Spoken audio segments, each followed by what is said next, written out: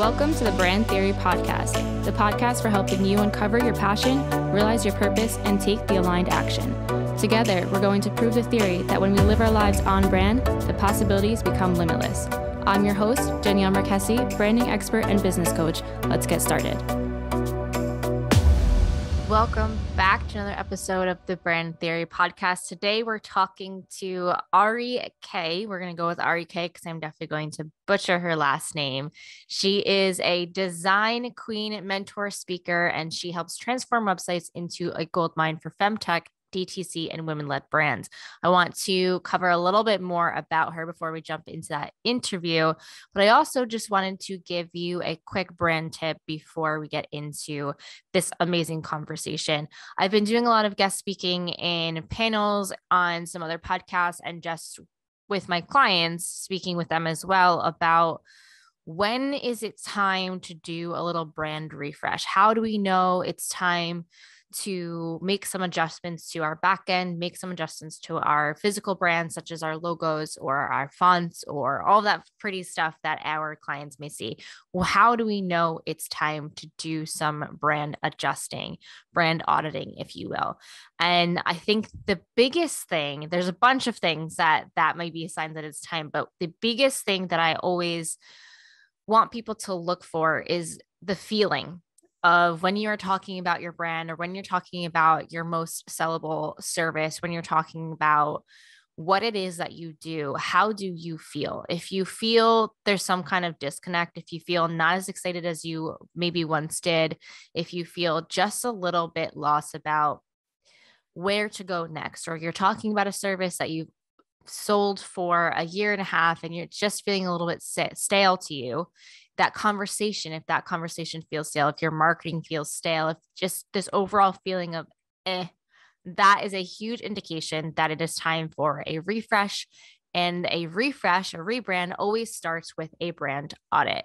So if you are feeling this way, if you're feeling eh, for lack of better words, about your brand and your business, your marketing strategy, and everything in between. Don't forget, we are having a spring sale of our auditing packages. And really, what that is, is you pick a time and a date that works best for you. You fill out a little bit of a large form. It's a, just a bunch of questions so that I can understand your perspective of your own brand and business as it is now. Then I go ahead and take a deep dive. It takes me about a week or so to take a deep dive into your brand, touch every point of contact that somebody may have have about your brand, and your business in terms of your virtual f- footprint. I analyze this. I take break it down of what your audience is seeing, and then I go ahead and make suggestions of this is your goal. These are some suggestions and adjustments I would suggest of how to get you there sooner rather than later. So if that sounds like something that you need, go ahead and go to that link in the show notes and be sure to use the code spring22 for savings. And that is going on till the end of May. So make sure you get over there and book that in. The appointment doesn't have to happen in May, it can happen whenever, but that code for savings does expire at the end of the month end of the month so let's get into today's interview it's a little bit more about ari she is helping women-led brands in farm femtech, farm tech, femtech, and DTC transform their website into a platform that unlocks business opportunities. She serves as a branding UX consultant and professional peer in support of fellow female entrepreneurs through the number one ranked private business incubator in the world, 1871 Chicago. She's also the co-host of Halo Femtech Podcast, a podcast that honors disruptive innovators and changemakers advancing women's health. Furthermore, she helps women in tech and design break into the industry and succeed in it by mentoring them for personal branding, career advancement, and entrepreneurship through interactive Interaction Design Foundation and ADP list. Lots of big words in there. And without further ado, let's get into the interview. Welcome to the show, Ari. Hi. Thanks for having uh, me here. Yeah, of course. I'm excited about this. I have read about your journey, so I'm excited to hear about it firsthand. And I know we just heard a little bit about you in your intro, but I always like to ask in your own words tell us a bit about the journey thus far and how you got to where you are today. Oh man, my journey. you know, it's always like, you know, fascinating to go back and look at what I've done in the past, right? But I honestly started off as a graphic designer. Um, I was born in Bali. Oh, yes. Yeah. yeah. You know how I feel, right? About all this feeling to graphic design and things like that. Um, you know, I I didn't know what I wanted to be, to be honest with you, when I was growing up in Bali and I was surrounded by all things related to tourism until one day in high school, I finally realized, oh, I want to be a designer. And that's after I already got like a four year uh, full blown scholarship to go to tourism school. And I told the, judge, the judges and my parents, like, I'm not going there. I'm going to be a graphic designer. And they're like, are you crazy? But you know, when you know that you want something and you know that you want to get there, you fight for it, right? Yeah. And um, it truly shows. And I think and my parents finally like gave up. I was like, okay, fine, go to art school. And um, it was quite an interesting journey. I mean, for those who have been to art school, you know how it likes, right? We learn all things related to um, typography, colors, like communication, all different things, but you don't realize how does that going to really translate into the real world as you graduate. So mm-hmm. when I first got my actual job as a graphic designer, I felt like, okay, this is really cool. I finally, you know, was able to apply all the things that I know but I felt something missing, right? It's like, what is this feeling that you just feel like, I think there's more to design. Yeah. I think there's more to like solving problem. And not until, you know, my husband at the time, he was my fiance, he asked me, okay, all right, you sounds like, you know, super excited with your work. I know you do great work on this, but how much do you really get paid? Yeah. And I told him it was $250 per month. He was like, what really? Because he's coming from United States, right? Yeah. Of course, that number is just ridiculous for him. You mean you add another zero at the end? It's like, no, just that 250. And he opened up this world to me, Danielle, like the world of freelancing, the world of, you know, digital nomad that you can mm-hmm. actually get work online. So I immediately, you know, learned all things related to web design, all things digital design. UI UX was pretty much booming at that time, just for you know the first time other designers hearing about it. And you know we see facebook right? All the other yeah. social media platforms with ui ux and it really got me thinking it's like okay there there's more to design not just like designing flyers or just like business mm-hmm. card but there's more to the thinking right? There's more to finding solution for business to thrive to really communicate their ideas their messaging and to create connection with the audience. So that's when I switched, to be honest with you, from just like being a graphic designer to um, digital designer and then all things UI UX and now into branding and UX strategy. Yeah. And actually, for those of us who don't really truly understand the definition of UX, I was hoping you could explain that to us. Yeah. Okay. UX it's a big word for those who don't know what it is. User experience. Honestly, it's that um, simple sometimes, but we take it for granted, in my opinion, how the way we want to guide someone in any mm. experience really it's not always on just a digital platform or an app or a website but also in real life right we take account in terms of like if you were to go to a concert for example and you have no idea where to go to check in or to even like grab swag maybe or even like to go to the bathroom there is no sign. What mm. do you do? You'll get frustrated. And i was like what the where do i need to find information now? You don't want to deliver that kind of experience to anyone and that's exactly what user experience is. It's not only all things related in the digital world, it's also something we sometimes experience in real life. We want to be guided, right?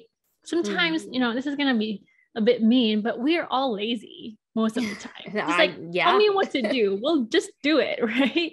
I yeah. just want to be guided. And I feel like everybody felt the same way because if you want to truly experience something with a brand or with at you know at an event and things like that you truly want to get the most out of it right? Mm-hmm. and that's where user experience really come to play is to give you that experience so that you will stay with the brand. You will enjoy the time that you want to have in any type of situation related to that brand.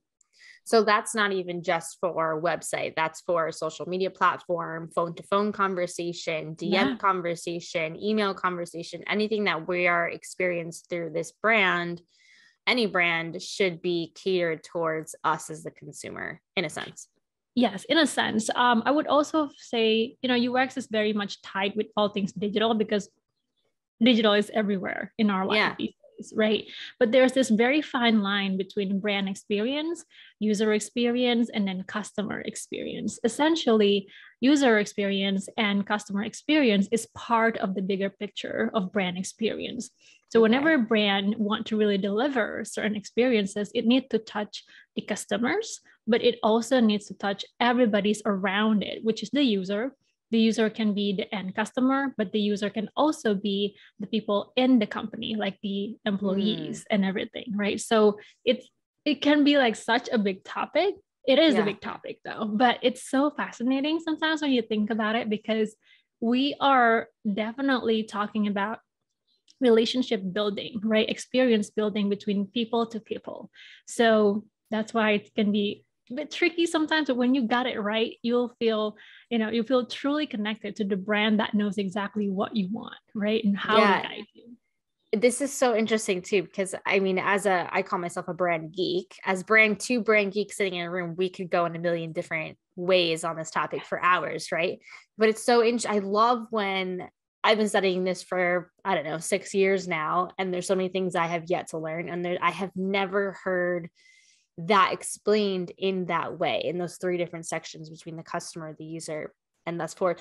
And I love that this industry is you're always going to learn something new and you're mm-hmm. always going to be able to cater those experiences in a different way, reflective of whatever the brand is or your own brand wants to represent. I love, I think it's like you said, it's so fascinating and it's there's so many rabbit holes to dive into and that could be dangerous in its own way but it's it's, it's, always like if you are passionate about one section of it you can make that work for you and that's yes. I love it. That's so cool.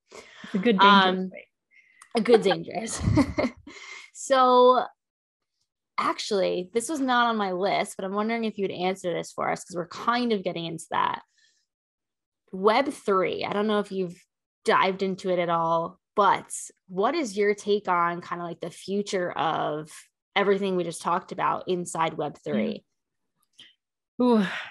That's another you know, hour long conversation. oh my God. Yes, yes. And I myself too, like re- relearning and new things all yeah. about Web3, right? Because I felt like it's fascinating in its own way, but it also like, hmm, I wonder how that will actually work because there's just so many different layers now that we're really looking at all things experiences related to digital.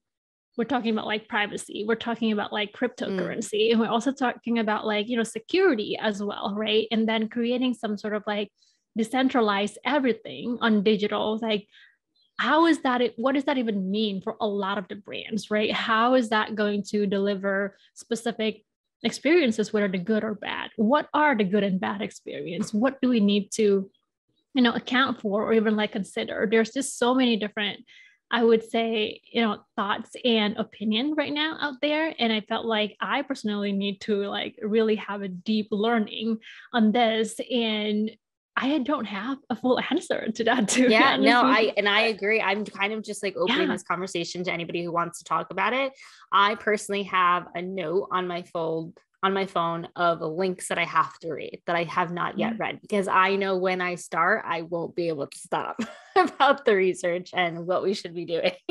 you know what I can share though? Um, I think it was yesterday. Yesterday, Jacob Cass, um, he's also a guy that is pretty much well known in the branding space, right? Um, he created a cool workshop with another guy mm. who knows all things about NFT related. And I found that was really interesting because as a designer myself too, like I kind of want to be in the space, like creating NFT.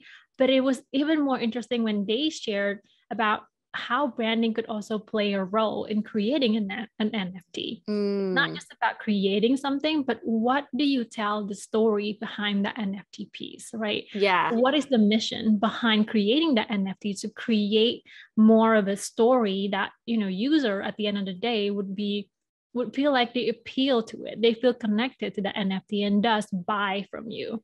So I thought that was interesting. I love that you brought that up because so much of what we talk about here in addition to branding is that story piece of it and if we yes. can going back to what you were saying before about this kind of human connection that this experience provides people don't want to buy from logos they want to buy from humans yes. so it'll be interesting to see how this human experience translate to such a non-human form.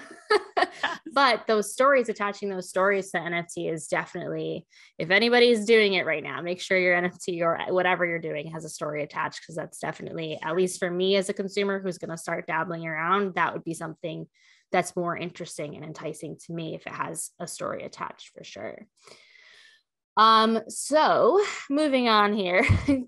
Right turn um, what do you feel like a business that, what do you feel is the way for a business to properly embody a brand experience? More on a personal level, though we're big about personal branding here. Um, so, how can people start acting like more of a human in their brand and offering that human connection experience throughout their brand if they're not doing that already? Yeah, that's a really good question. I was talking with another brand strategist a few weeks ago, and we talked about how to truly living it, right? Live your brand. And I think that's definitely a lot easier said than done hmm. because all of us have values. And sometimes we just like put those values on the wall and forget about it, right? And on the other hand, you would, you know, share this with everybody in your you know you're in your company you're with your um, customers and everything. And then again you don't truly practice it. But when you truly do want to create a brand that would leave remarks or even like you know everlasting experience to your customers you need to live it. What do i mean by that?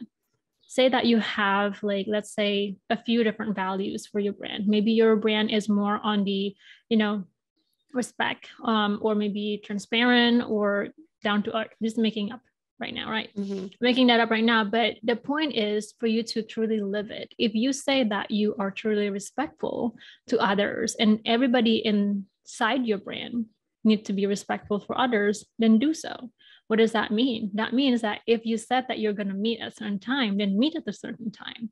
Don't let everybody else is hanging, right? Without any explanation or stuff like that. So again, going back to like really living your brand, like how do you you know, con- consecutively with one another, truly living the brand values that you have, starting from us as the founder, right? Mm. If you are a one person show right now, that's fine, but you need to be the example that can truly show this is how the brand live, right?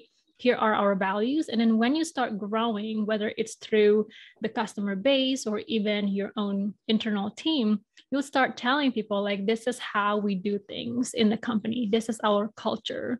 We strive because x y and z values right? Yeah. That's how you build them bit by bit but you have to start living it rather than just like telling people yeah here's what we have here's our value but they're just like a pretty words on a website right. or somewhere in your document. Right like other than just checking it off the box and the foundational work you have to actually live it. Yeah totally. So is this what you help your clients with or tell us a bit more about what you do with your clients? That's a good one. You know we do so many different things. Yeah. But it all it all started with the brand right? We often feel like the brand is definitely where your you know the heart of your company yeah. right? Everything starts with the heart and when we start working with our clients it all starts with the strategy first. When they don't have a clarity about where it is that they want to go with their brand or who the brand even is when they take themselves out from the brand can the brand truly live on its own? What happened if they ended up like selling the mm, company right? And then or maybe they outgrew the company and it just not because of themselves anymore. They have like more people within the company. What yeah, then. So i think a lot of time you know entrepreneurs don't have a clear idea of like how how do i work with my brand? They have the idea they want to market it straight away.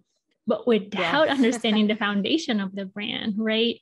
How would you have the clarity in targeting the right target audience and delivering the right messaging to this audience? I felt like if you were to do you know a quick shortcut and just go straight to market um, your company, you might have spent way too many uh, or too much, you know, investment on the wrong place simply because then you're going to have to go back again to the branding and trying to figure out oh that didn't work because we weren't targeting the right customers. Well yeah. duh that's why you should have done you know branding first so that you can have that clarity before you go into market.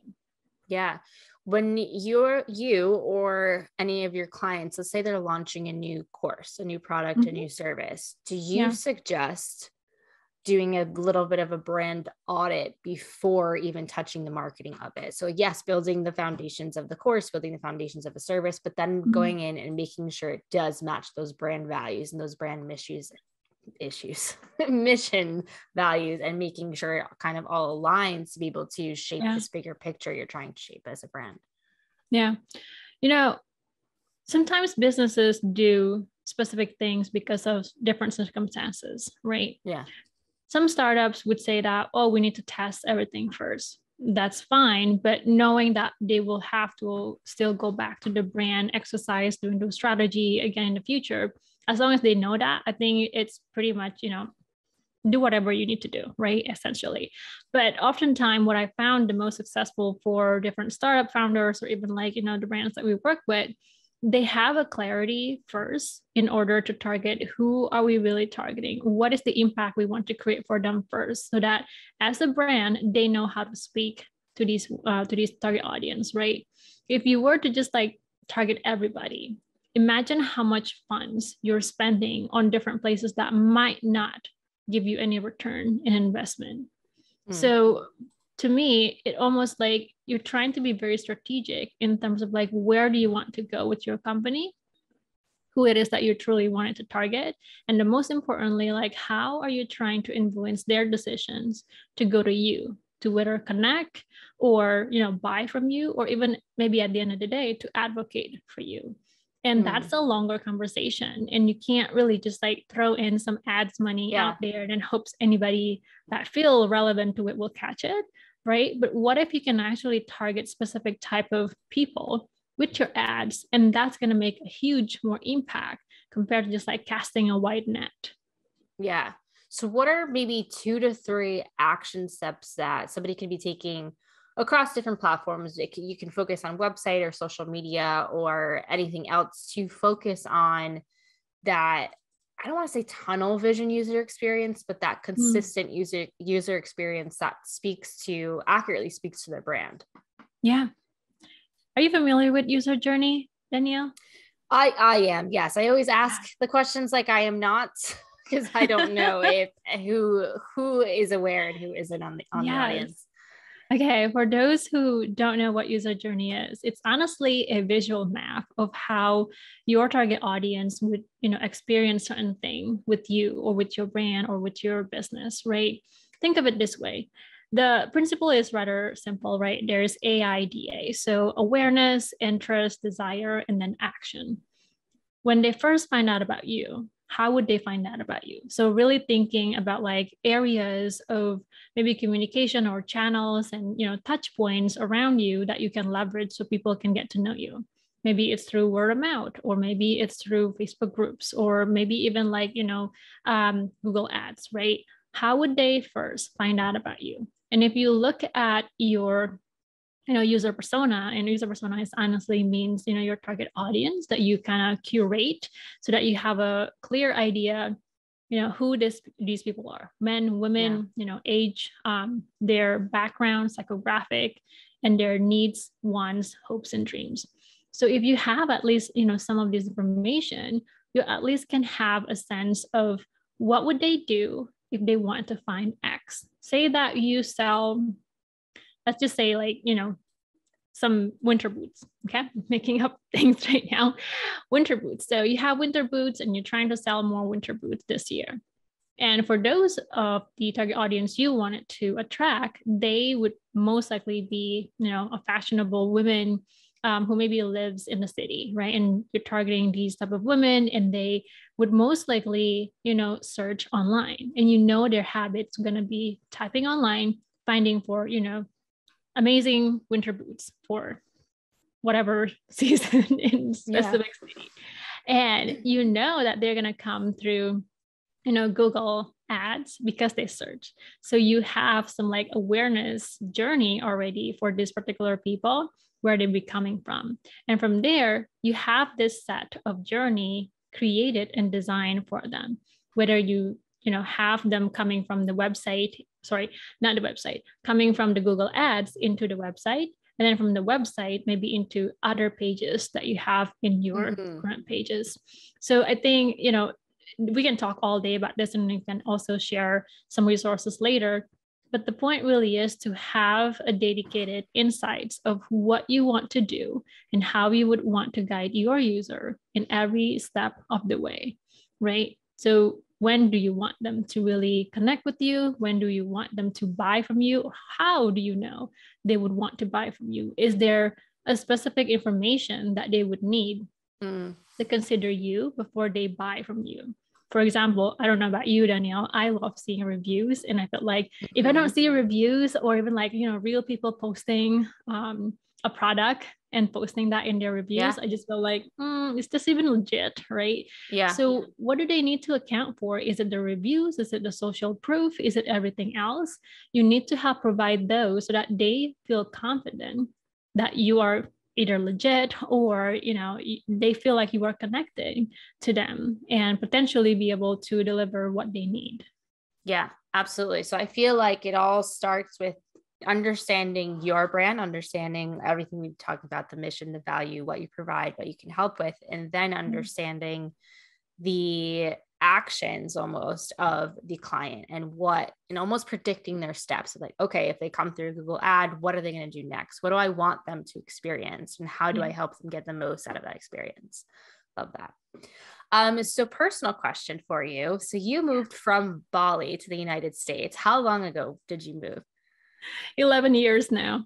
Okay. So I started my business probably, I guess, four years ago. And it was during mm-hmm. the time where everyone was trying to move to Bali. really? yeah. Like everyone was trying to work remotely, build a business, work remotely, and just move to Bali or spend a month or two in Bali. So have you been back since then during this kind of work and travel from wherever? And what was that experience like for you? Yeah, gosh, you know, the last time I was home, 2018. So it's been okay. a while. I'm hoping to come back this year, you know, for the summer. We'll see.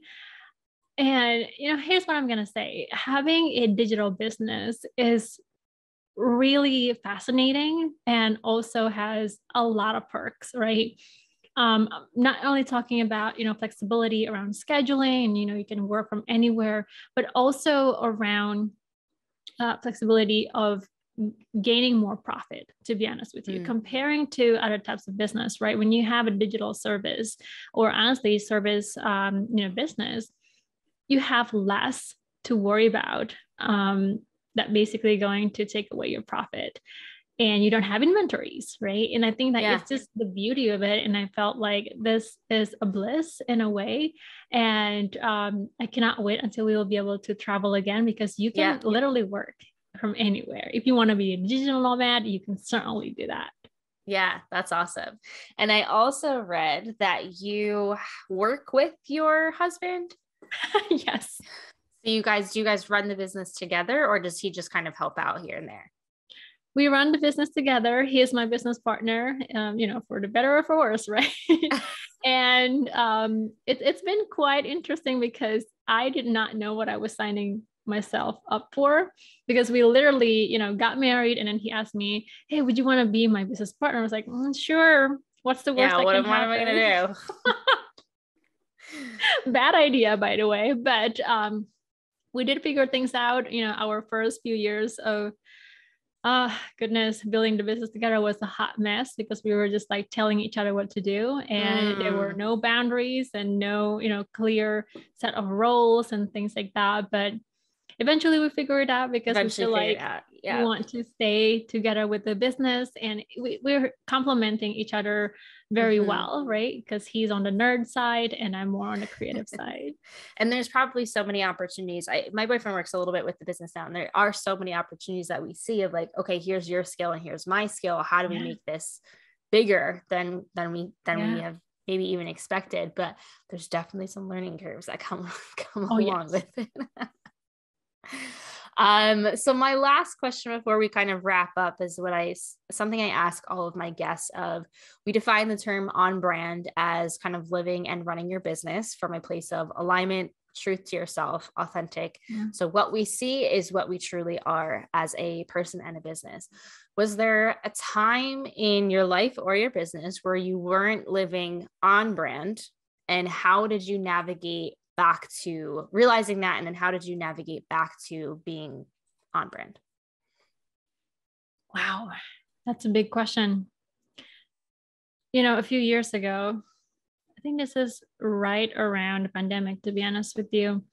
I was starting to really ask myself whether or not I have a voice, right? Sure, I went to different networking events, build up my own personal brand and also the company's brand, you know, sharing all of that and kind of get exposure. But I realize I don't really share what's in my head in terms of like my opinion, my perspective, and everything in between.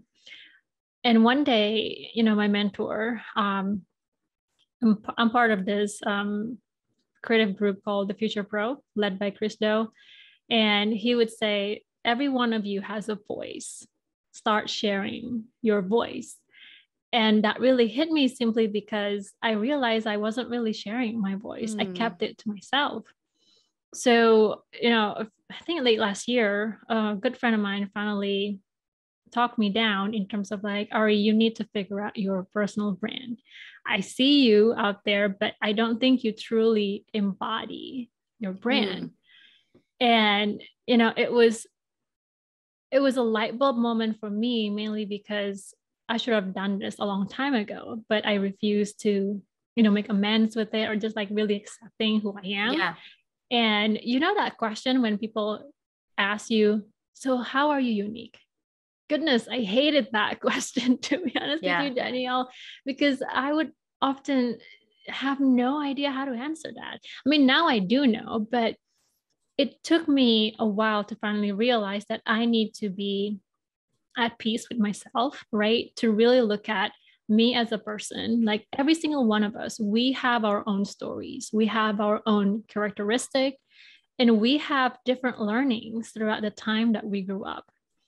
Take all of that and you know really look at like how has the past shaped who you are today and if there's anything that you feel is you know either traumatic or felt like you haven't made peace with it do so and maybe it's going to take you a while to accept that and that is okay but the more you start accepting who you are and you know being okay that you have certain strengths and weaknesses it will become your truth in my opinion i know this is probably a bit woo woo but sorry No, I love this. This is amazing. Keep going.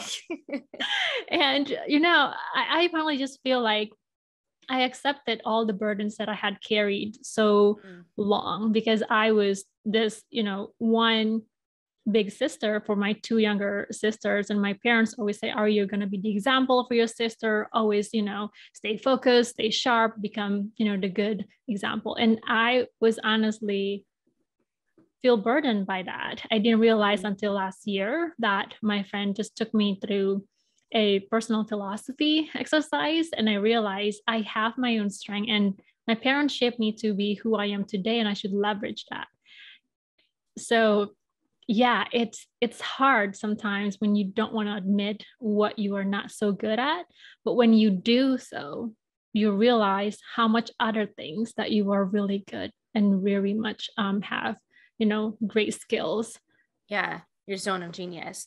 Yeah. I believe so strongly in we don't know what we don't know until we do, we know it. Like so Mhm. we come so far in our lives, right?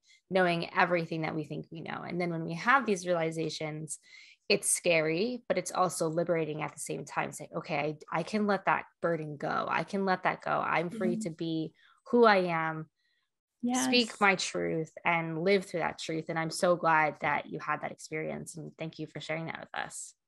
You're very welcome Um, so, any last words or advice for the audience, and definitely tell us where we can find more of you. You can find me more, honestly, online, all over the place. You can find me on LinkedIn. You can find me on Instagram or even on my website, chykalophia.com. Um, one last thing that I, I do wanted to share. I saw a post today from I think the founder of the founder of Spanx, right? And it made me realize that all of us honestly need to stop living somebody else's dream, right? And I would also say we need to be happy. So don't, you know, don't make somebody else's happy at the cost of your own happiness. Um, that's honestly it. I love it. That was so great. This has such been such a great conversation. We went like a total roller coaster from your journey to NFTs to all these things. um, I know that I definitely enjoyed it. And I know the audience is going to enjoy it. Can't wait for them to hear. Thank you so much for coming on and sharing your experience, your expertise with us. We will chat with you soon.